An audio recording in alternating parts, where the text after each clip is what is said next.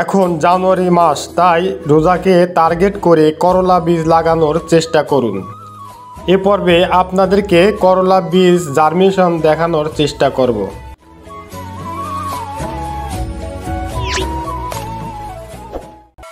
Packet হতে বীজ বের করে হালকা রোদে দিতে হবে।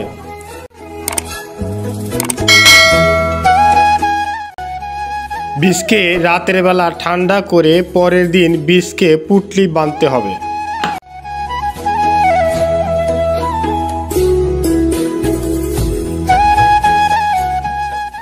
তারপর পরিষ্কার পানিতে বীজ ভিজে রাখতে হবে চব্বিশ থেকে আটচল্লিশ ঘণ্টা।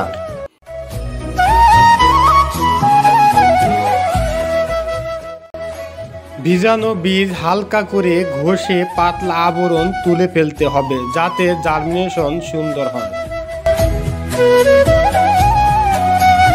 তারপর পাটের বস্তা ভিজিয়ে অতিরিক্ত পানি ঝরিয়ে হালকা শুকিয়ে নিতে হবে।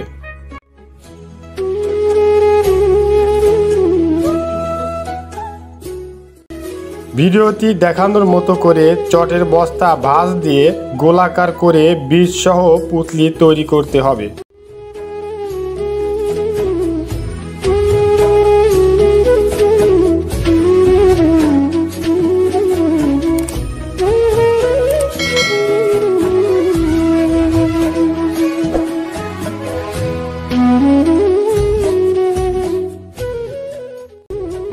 পুতলিকে দড়ি দিয়ে শক্ত করে বেঁধে রাখতে হবে কিছুক্ষণ রোদের মধ্যে।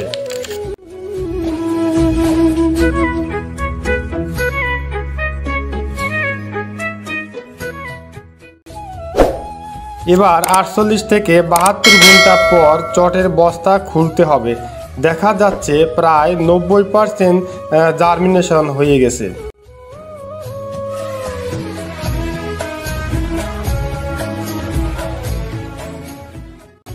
আগে থেকেই পলি ব্যাগ মাটি তৈরি করে রাখতে হবে।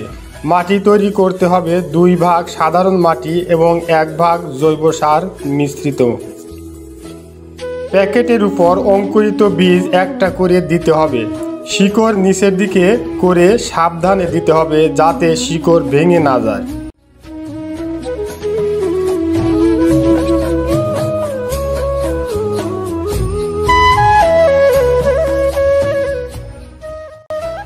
বীজ প্রবেশ করার শেষে ভালো করে সেচ দিয়ে মাটি ভিজে দিতে হবে।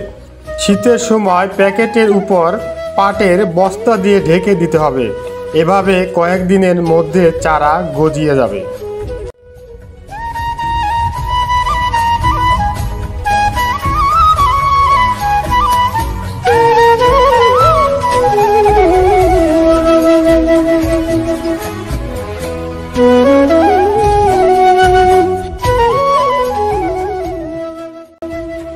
যে চারাগুলো আপনারা এখন দেখতে পাচ্ছেন, এই চারার বয়স মাত্র দশ দিন।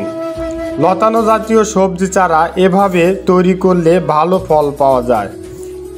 দর্শক মণ্ডলী, ভিডিওটি ভালো লাগলে একটা লাইক দিন এবং শেয়ার করে অন্যকে দেখার সুযোগ করে দেওয়ার অনুরোধ রইল।